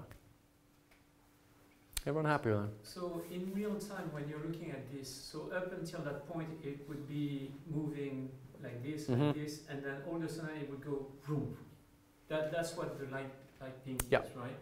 Now, there's an important question you've raised there with the, the vroom. okay, because the vroom, one person will say, well, on the price ladder, it just skipped. But someone might say, well, yeah, and it didn't- everything looked kind of thick on the, the bids. It didn't look that empty, the bids. And that's where the footprint is more powerful than, for me, any other tool because the footprint doesn't go vroom. The footprint tells you, well, look at the difference in liquidity. It's very, it's a markable difference. So I can use the footprint to confirm the vroom. And suddenly I can start to say, well, when I see the vroom on the price ladder, maybe that's the signal on the vroom when I have a ledge. Maybe that's what I'm looking for, that vroom. And I confirm it with my footprint. Hence why we marry the tools. We don't, we don't want to just have a pro, we want to marry our tools. But most importantly, we marry them in the right way. We don't just use something for the sake of it, we use it to add value. Okay, that's bad high low. Any questions? Apologies to. No, uh, no, no, um, never apologize. uh, uh, You're using that, that specific moment, you're using an evolving candle. It's not finished yet. Okay, yes. Yeah, that's true. Yes. it? Yeah, okay. Go further with that though. There's an important thing you're going to say there, which is important. You have mentioned I wait for closes on Uh-huh. the strategy. Okay. Here you're using a, a, an evolution as it went through the. Spot on. So now, to answer your question, okay, let's go back to our information curve. If I wait for confirmation of that, okay, remember this is opportunity, uh, other way around. This is information, this is opportunity. Now, based on that trade strategy, right, if I wait for that candle to close, where are we on the information spectrum? You would have lots of information after the close, but less opportunity. Okay. Yeah. So there are certain instances Yeah. in which, and I, I- I did a, a YouTube video on this a while ago actually, it was all about there is a time and a place to be preemptive. In, in other words, when you are not preemptive, sometimes you're actually taking on more risk. In this instance, you take more risk on waiting for that five minute close than you do being preemptive. Okay? But you still have to be preemptive with access. We don't preempt just, sorry, we don't preempt just for the sake of preempting because we think it's going to go, because that kind of approach is going to do you no good. We preemptive when the market says you've got a signaling now. Now preempt. Now take the risk. Until then, you don't have access. And Yes. you get your confirmation from the close of the previous candles. Potentially. Okay, access can come in It's an iceberg situation. 100%. Okay, so remember, I'm just showing you access points based on that day. Okay, bad lows and highs, they will all exist. That's a concept. We know that concept. But how you access that will change. Sometimes you don't get to access it. Hardest thing in the world, and that's where true discipline comes in. Discipline isn't sitting at your desk or not eating the cakes on the table. That's not discipline. Discipline is knowing that something is going to occur, but still not doing it because you don't have the right approach to it. That is true discipline. Okay? Now I can tell you hands down, I'm not a very well disciplined trader. Okay? Sometimes I'm not a very patient trader, but that I can work on. Okay? That discipline I can work on. Seeing enough of these, I can go back and say, why did you hit this year? Okay? Equally, remember, the only reason I get away with it, and this is where honest self-reflection is so important. The only reason I get away with is ledgers, I lose money on the bad discipline, but I make the money back. Why? Because of the persistence. So I'll probably lose the first three times because I'm ill disciplined, but I'll make some because of the persistence. What's the net result? I can choose. I go home and I say, okay, well, well done, you made money. Or I can say, no, not good enough. You lost three times. Why are you preempting? You see the honesty approach. And that's what trading is, guys. It's about being honest. It's about being willing to be honest. Most of us aren't. Losing okay, but breaking your rules is not okay. Okay, spot on. Yeah. Okay, everyone happy with that? Cool. Sorry. Yeah. That previous example, where's the sort of the tipping point where you're actually comfortable to take the trade? At what point do you actually go? Let's go back. Okay. So for me, I would say that that would have been that would have been enough for me to put something on. Okay, I would have liked to have seen it because the first time we've seen the sellers now holding the offer lower down ahead of that break.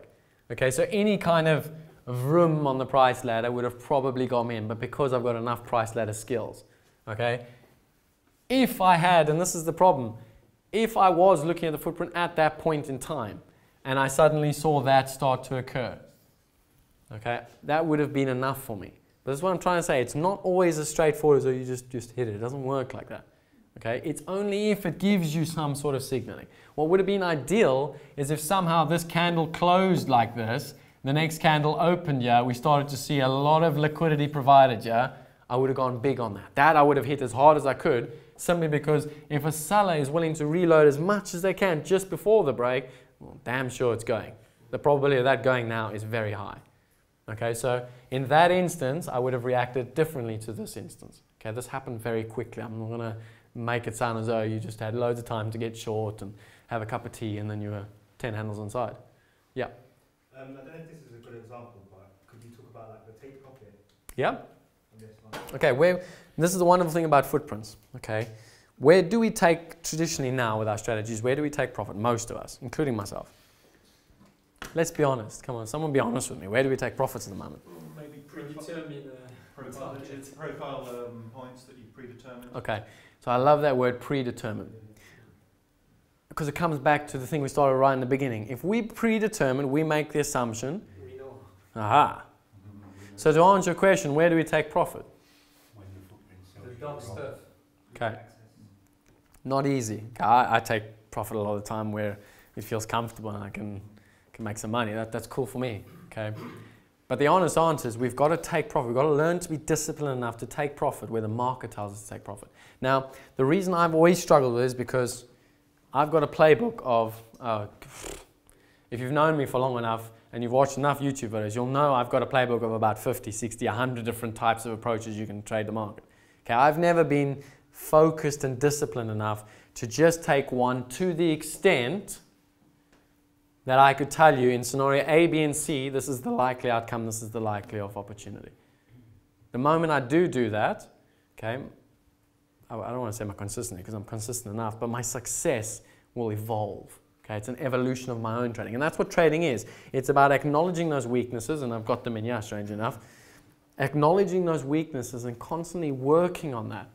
Okay, if you can work and master in on one strategy, if you're making money now, imagine how much you'll make when you actually start mastering it. Okay, and this is where we're going to finish the, the session three, is I'm going to show you what mastery leads to in the end. Okay, I'm not a master and I never want to be called a master. I'm not an elite trader because I haven't had the discipline to go and actually become a master of one thing. Okay, I'm the chef that can make a pretty cool menu. I can make you a burger, a lasagna, I can do all these nice things. But can I do you a Michelin three star meal? So No. why was that, apart from, apart from um, being arrested, that Nav, the trader, Navinder? Yeah. Why was he so, at the early days of Futex, why was he so great? I have no clue. That's a simple answer. I don't know who he was. I, oh, you weren't there then? No, oh, no. And Oh, yeah. Okay. he, he was great because he probably had a different mindset, he had a different way of doing something. Yeah, Okay, and it's usually it's usually how it is. Okay, I'm going to talk a little bit about mindset when we get later on, but um, yeah, let's get to it, guys. Because Sorry, could I just go yeah, of course, on yeah, sure, sure. On that um, access point Mhm. that we're showing there, that was actually a responsive up bar. How Mm. far up did it go? Would you have entered, would you have actually entered on that, or would you have entered on the down bar? Uh, no, on the way down. Yeah, So on the- right, so you, so you observed that Oh. point Yep. of high volume. Yep. So you respond on the next Yeah. bar. So what's happened Yeah. Let's let's let me break this down. Two by eighty nine, zero by two forty, and one twenty seven by one seven two. Stops, isn't it? Spot on. Okay? So what's happened in essence is there's stops that gone off in the market and the seller's now holding this price pressure. He's holding the price pressure to the downside. Sorry, this has gone back up and sorry, the buyer has stopped it up. In other words, the seller was absorbing, the buyer stopped it back up, and then the next rotation the market opened and dropped off. Straight line. Okay. I should have actually included that. Um, I might see if I can get that in the break for you and get the full example. And, uh, sorry, very last question. Mhm. So would you have start, start, uh, started unloading your position as soon as you would have seen like uh, the darker red? Ah, that was to answer the question of profit take. Yeah. Um, okay, so where's this candle closed? on the low. Okay, so it's closed on the low. We've got a high relative volume and a high relative delta. But in, sorry, in real time, Yeah. when you start to see, for example, the darker red, Mhm. um, where there's a circle um, Mhm. uh, in the middle of the, Yeah. would you have would you have started unloading?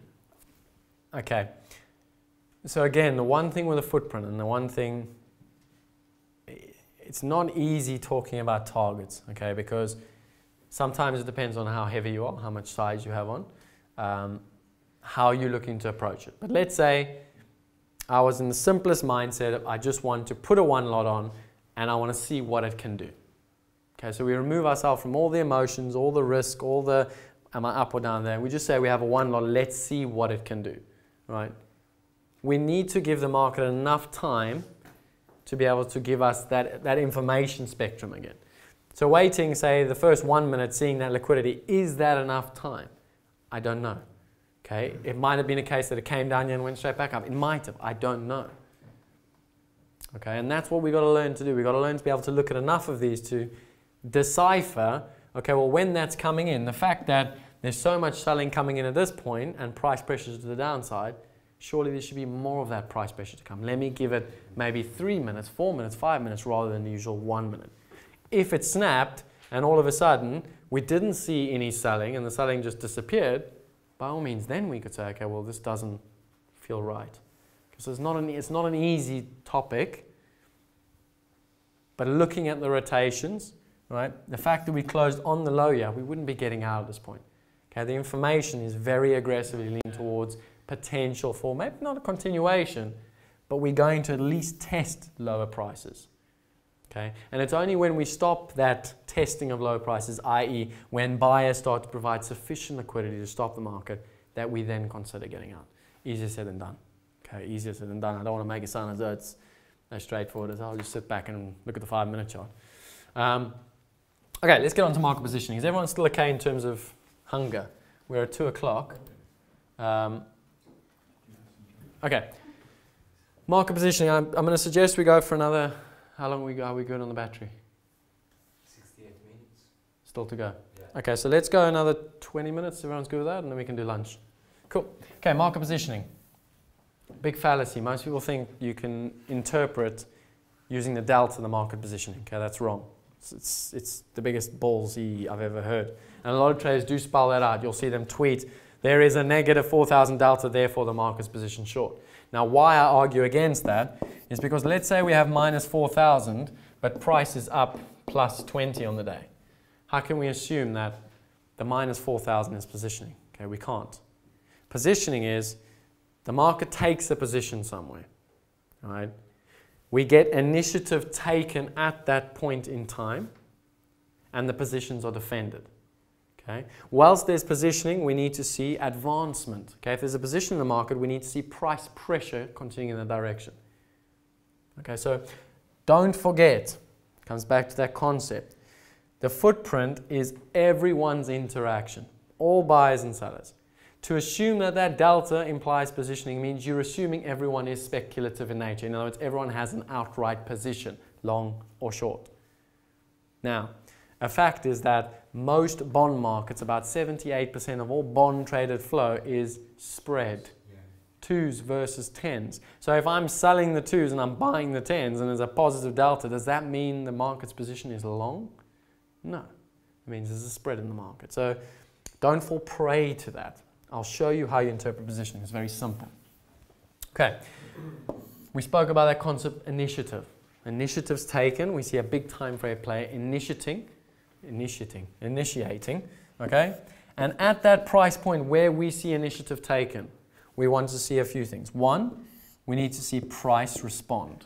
Okay, so price is our first key element, price response. And two, we want to see delta respond. And three, we need to see volume respond. If you get the combination of all three of those, a price response with a delta response and on relatively high volume and price moves up, you can assume there is positioning in the market. Okay, why? This, got, this has got a lot to do with the principles again. In order for price to go up on high volume and have a high positive delta, what do the buyers have to do? They have to lift relatively large offers.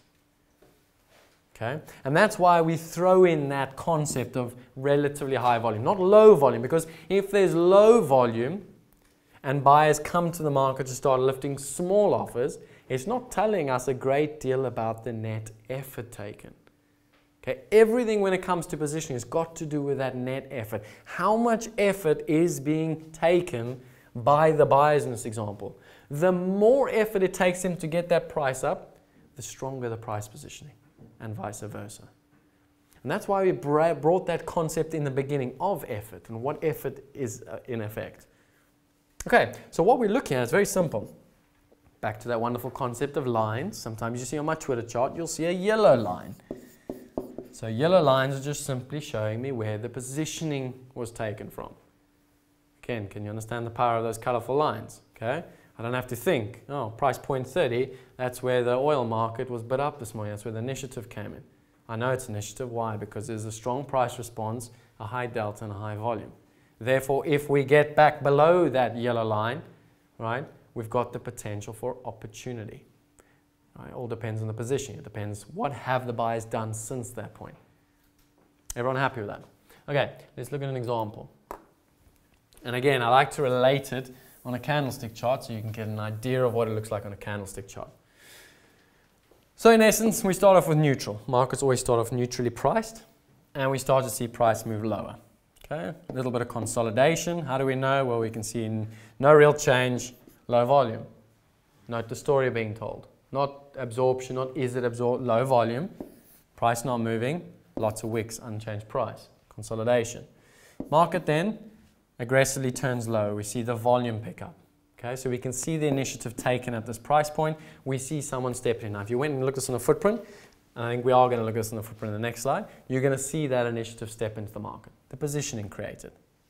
All right, so there's a bit of effort taken there. We then annotate with a small s, i.e. there's a net short in the market. Not shorts and it's bearish, there's a net short now. There's a positioning in the market. Market begins to do what? Okay, flag or consolidate. So we see a little bit of consolidation. And then we actually start to see something interesting, which is a little bit of absorption. Okay, so we move from a consolidatory phase to an absorption phase. Okay, eventually, what do we say when markets are in absorption? We look for the resolution to resolve itself, and that's what we get here. Okay, at the same time, obviously, we take out that short positioning. We can see that. What do we call this line? How did you recognise the absorption? Okay, through the higher volume. So the higher relative volume. Okay, still within the same. Okay, so that's accumulation. Yeah. Now, what do we call this line? Not quite an access point. Or starts with a T and ends with a trigger. Trigger. Okay. Why do we call it a trigger line? Because it triggers, it elicits a response from the market. Okay, so we get a trigger. We don't know why. Okay, we just call it a trigger because the market tells us what? There were a lot of people that responded there. And it was the break of the previous resistance. Okay. So it breaks down below that net short line. Might have been that, we don't know. Okay, but we look at it. Okay, this is how you start to annotate your charts. You look at the interesting points of the chart. You go and observe it. You ask the right questions. It spits out some answers. Anyways, market then goes to a neutral positioning. Why? Because now we've taken out the shorts and the market starts to move sideways again. Note, relatively high volume. Okay, high volume, we've got some form of absorption taking place. Market continues. Right, we start to see a second round of initiative taken now. The market starts to turn net long. What do we see call this? Some consolidation taking place. We consolidate and the long continues. The positioning continues to build. Now that's just looking at a candlestick. Notice what I've done there. I've taken first principles, the truths. I've told you the positioning should be getting longer here. So what do I do now? Do you take that as, as, as the truth or do you go and observe the footprint? We observe the footprint and we want to go and look now. What's happening inside this absorption? What's happening inside the consolidation? What's happening as this long position is building? Is there a long position building? Is the delta gaining as we're moving up higher? That's how we start to learn. We ask the market the right questions and we start to develop the story. Okay. Hey, Brent, Yeah. uh, right before moving along, Yeah. um, that second big circle Yeah. where there's a big, um, big candlestick green and then right back down. That's Okay. what I was referring earlier on, uh, on, on, uh, on footprint. You're talking about these ones? No, no, uh, the one on the right. The next one. Yeah, next Ah. one. Yeah. And then, so you've got volume. I presume you probably also have a, a strong delta in there. Mm-hmm. And then the next one, uh, same, even bigger volume. You go straight back down, Mm-hmm. then consolidate, then go back again. Mm-hmm. So from the first green candle, you would assume there's control from the buyers Okay. because of the volume and the delta Mhm. and, and everything. How can the buyers allow the price to go straight back down like this, all the way from uh, where the move started, Mhm. And and then consolidate and then move again? What, Okay. What's the what's that? How do you explain that? The Or- best way to explain it Yeah. is to ask the market that question. Don't ask me. I don't know why the buyers took it, but I agree with you. Yeah, there was there was definitely someone that stepped in to buy it, and then it just stopped. Wouldn't you call that a short squeeze overall though? You've got a bear flag there that's basically gone the other way, so there's a lot of people short of that bear flag. So this is now going in a short squeeze, and it's running a lot of stops. If if you look at enough of those, and you can interpret on the footprint that the interaction is such that the buyers run the shorts out, and then all of a sudden it goes off it and there's not a single buyer providing liquidity and you call that a short squeeze, then I would say spot on Mm. and keep applying that same interpretation. Yeah. Okay, the simple answer is I don't know why they just took it straight off it. I, well, I can tell you why. There was obviously no bid when the market went off it. Okay, yeah, we can call it a short, we can call it whatever we want. Information, do we? Wasn't that a short-lived move on Wednesday's uh, um, inventory figures? Uh, that's the S&P. That's not the S&P, that's the oil, sorry. It's a very That common is, phenomenon. that is the, um, that's yesterday. yesterday. Yeah. Yesterday, So in the morning, it's always a Thursday, Wednesday. It's either Wednesday or In fact, that- Thursday. That's probably the same move that. when it came off. Yeah. Anyways, let, let's not get. I think the important point to drive home, okay, is that we don't have enough information here to determine why it's gone back down. Okay. And that's why we want to drill open. We want to, you want to go and observe when that happens. Because what I'm guessing has happened to you is you've probably bought there, which is fair enough. If you've got the access, you've bought there. The right? Yeah. So now when you lose, don't lose the lesson.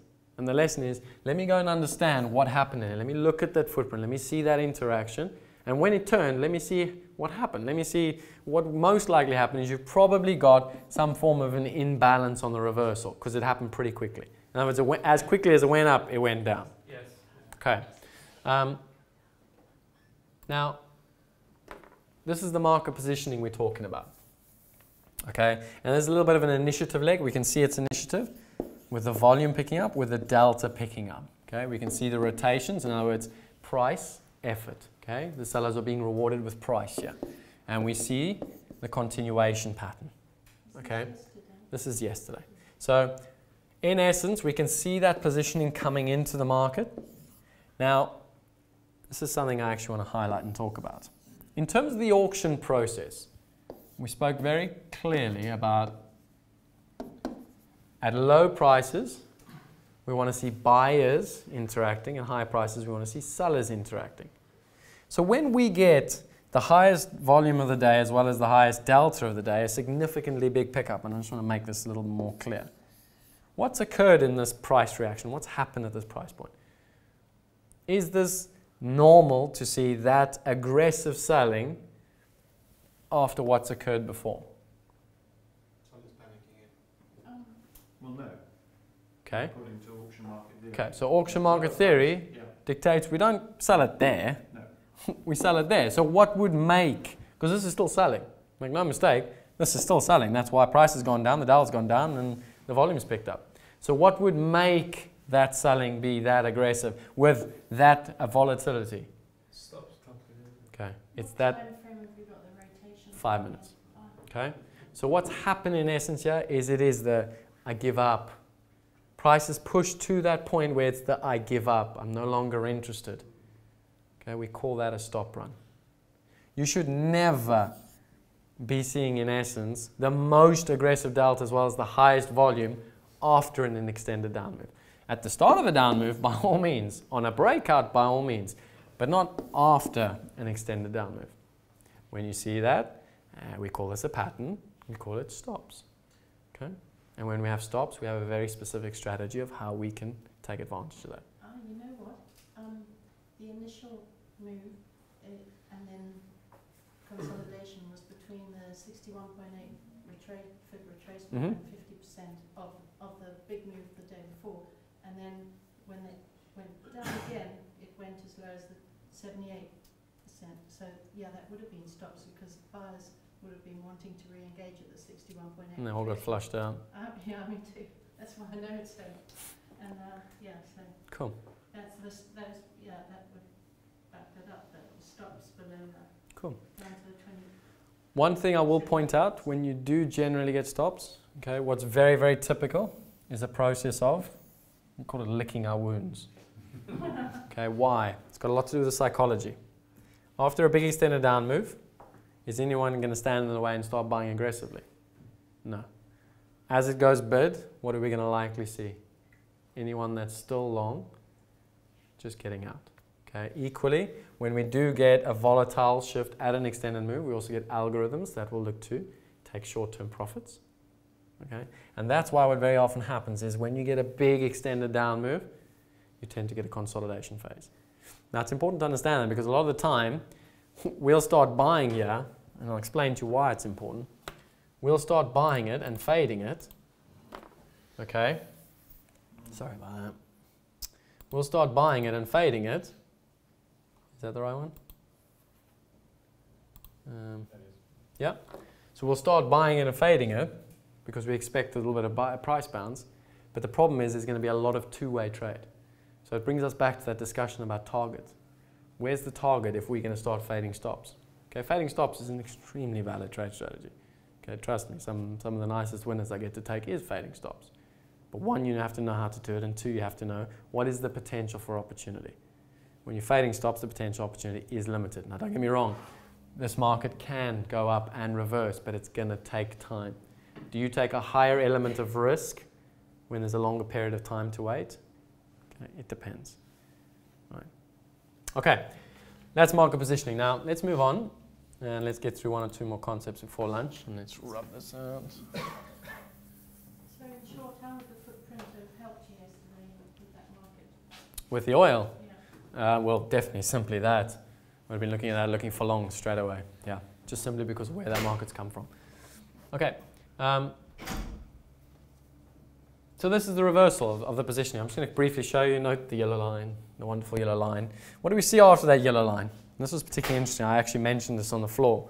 Okay, but if you pick up on the numbers of this volume, to do 16,500 contracts in five minutes is a substantially large amount of volume on the oil.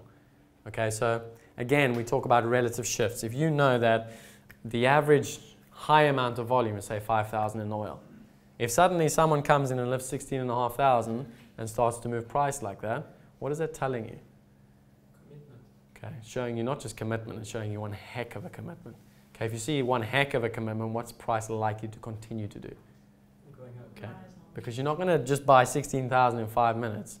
You're probably going to buy another 16 and 15 and 14,000 after that. You've got a large order to fill.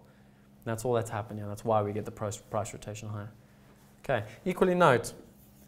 So we did get an attempt there. Okay, sellers did try their best. Notice the dark colors. Okay, so the sellers were selling into Mr. Big Buyer just taking whatever he could. Sellers stopped. What did we get? Continuation. Notice the, the uh, liquidity again. Okay, notice the light volume. The buyers got aggressive. What do we see at the top there? Liquidity being provided. Okay, eventually prices started to back off. Lower liquidity being provided, lower liquidity being provided. Okay, and the markets just start to turn sideways. Volumes drop off. Orders finished. Okay, buying orders done. Okay, cool. Let's see what's next. Support and resistance. I'm going to go through this very briefly. I've probably explained this enough times today. And normally I start with this. Whenever I teach someone about the footprint, I say to him, What is support and resistance? And they all go and they put their hand up and they tell me about the line. That's the oil chart, by the way, next. So they tell me about that line, that magical line called support. And I say to them, Well, you know what? Actually, that's the biggest load of rubbish that you've learned in your entire trading career because you've read that in a book, a book that was probably produced in 1980 and that was probably valid in 1980, but unfortunately, in this day and age, it's not valid. Okay? Support is where a market participant buys the market. Now, how he buys it is irrelevant, but he buys the market. Okay? Sometimes we might see absorption, in which case we have a bad low. It's still support in the market. Sometimes we have an auction reversal, where there's no one responding and the buyer just gets aggressive and buys everything. That's a good support. Right? We get different kinds of support and resistance. Right? The important thing is to be able to differentiate between the types of support. And this is where the footprint is extremely useful. Most people look at a daily candle. What they don't do is look at the high and low. If you want a little bit of a case study as, as a nice Christmas experiment, okay, go and get a footprint chart up and go and look at the daily high and low of your market for the last two weeks. And go and take a picture of every single one of them and put them, print them and put it on a carpet next to each other and go and look at the high and low. Just go and look. Just like we did a case study earlier, go and do the same kind of case study now. Observe what the high and low how they were made. You're going to start to develop an understanding of how highs and lows are made. Sometimes they're made on high volume, sometimes low volume. Sometimes weak support, sometimes strong support. Once you've done that, then you can start to say, okay, what happened the next day at this price point called support? And you might start to observe, well, when there's a significant support, in other words, the buyers really aggressively buy the market up, when it takes that point out, actually, there's a very good breakout opportunity. You might find when there's a support created by sellers being reluctant, not willing to keep being aggressive, like I showed you in the example, right? You might find those ones go and then reverse. The minute you start to ask the right questions of the market, you're going to start developing an understanding of how the market actually trades. Not based on what I say, but based on how the market participants respond. Okay, my sandwiches look good. Don't get distracted. We're almost there. Okay, you shouldn't recognize this, this chart. It pains me to show it to you. This is the oil. Okay, um, this is dating back to pretty much November the 21st. Um, so, what is support and resistance? What is a trend line? And, and I'm, I'm kind of going to dispel some of the truths you might think are truths, but they're not. A support is not, this line is not support. Okay, it's not a trend line. It's only there to show me that every time the market gets to lower prices, someone is stopping the market. Now, that someone could be a seller reluctantly taking profit, it could be a buyer stepping in. That on its own doesn't give me enough information. So, when I gave you a conclusion earlier saying it is reluctant sellers not willing to be aggressive at the lows and reluctant buyers not willing to be aggressive at the highs, that wasn't based on that chart, that's based on looking at the footprints. Okay? I can drill in and see what's occurring every single time in these examples. And that gives me a better understanding. It doesn't mean I'm going to be profitable, but it gives me an advantage to interpreting what is actually occurring at these lows. So we have got some form of support, some form of resistance. Now, this is the important thing. If you go look at the daily volumes, okay, what do we call this phase? We call this either consolidation or absorption. Anyone want to take a guess what the volumes are doing in the soil at the minute? Relatively high, relatively low? Okay, I'll give it away. It's relatively high. So, what is this phase called? It's an absorption phase. So, what do we know about an absorption phase? What are we looking for in absorption phase? Okay, a resolution. So, we now want to find some form of an access point to that resolution. So, what are we looking for? To get to a specific price point And something changes. when something changes. Okay? When the sellers engage, they step in, they hit the market hard, and there's no more buyers to stop it from going down. Or to the upside, when the buyers engage, they initiate to the upside, and the sellers are no longer willing to engage up there. At that point, and only at that point, not when OPEC says, because I thought OPEC would help out with that, not when the Fed Reserve this week hikes rates and goes dovish, not at any of those points until the buyers and sellers decide. And that's the key takeaway from the entire session today. It's not us or the support or the resistance that decide on price. It's that interaction. It's those buyers and sellers. Why? Because first principles, we know a buyer makes the price go up, a seller makes the price go down. Okay. Give it another one more two concepts. Okay, I'm not going to go through this unless you guys desperately want me to. I think you'll get the crux of it. We've got more to come later. Auction imbalances. Let me just see what I got left. Okay, auction imbalances. We'll finish here. Very simple. Right? An auction imbalance shows us an imbalance in the auction. Funny that. Um, okay, so what an auction imbalance is, it's very simply just showing us a shift in the dynamic between the buyer and the seller. Okay, so the way to think of it is almost like a shift in the energy. Now that shift in the energy means nothing in terms of price. Okay, I don't want you to assume that if there's a shift in energy, it means that price is going to respond. But it is an interaction we want to be aware of. Why? When there's an au- auction imbalance, it means that suddenly a buyer or a seller has decided to be aggressive for whatever reason they choose. That reason could be stops, it could be they really want the position, there could be news out, there could be economic data. There's a number of reasons why imbalances are created. But the premise behind it is someone has been aggressive. Now, like I said to you, in every instance, it's binary. One of two things happens an auction imbalance fills, or there's continuation. Now, the only reason I know this is because I always thought it was a continuation signal. So I would, whenever I saw an auction imbalance, I'd get short yeah, and then it would go back up and I'd lose money. I'd be like, oh, that doesn't make sense. It must have been wrong. So I'd do it again the next day and I'd go for the continuation. Eventually I got to the point where I said, well, sometimes it continues, sometimes it reverses. Can I ask the market the right kind of questions to determine when it's going to continue, when it's going to reverse? And suddenly start to learn a few cues. Okay, now, what I would typically say, rule of thumb, when there's high volume coupled with an auction imbalance, i.e., we can see an auction imbalance here. Okay, we can see relatively high volume as well as some absorption towards the downside. When we see this instance, okay, there's a higher probability for continuation than if it was lower volume. Everyone got that? So auction imbalances to determine between a reversal and continuation, we want to look at the high volume. Okay, let the volume determine whether or not it'll be filled. Okay. Now, I'm just going to go through these two examples anyways. Liquidity provided, market opens at the top. Okay, light colors, liquidity provided, and suddenly the seller steps it up. Okay, so the seller, once that buyer stepped out of the way, all that happened was the seller went aggressively to market. Okay, we can see the very next candle, what happens? It reverses all the way. Right. The important thing to understand is that there are specific, very, very specific strategies with imbalances as to where they occur. Okay, I'm not going to be going through imbalances today. If you don't adopt the strategy with imbalances, that's fine. But just be aware of what an imbalance implies. It implies a shift in the interaction. Okay, it just shows you there's an aggressive shift in the interaction. It doesn't mean that price will continue lower or higher. You don't have enough information to make that choice. Okay, you have to combine it with other elements, i.e., where is this imbalance occurring? Like I showed you when you had the breakout of the ledge, we had an imbalance just before. Right? That gave us a clue that actually we were going to get continuation.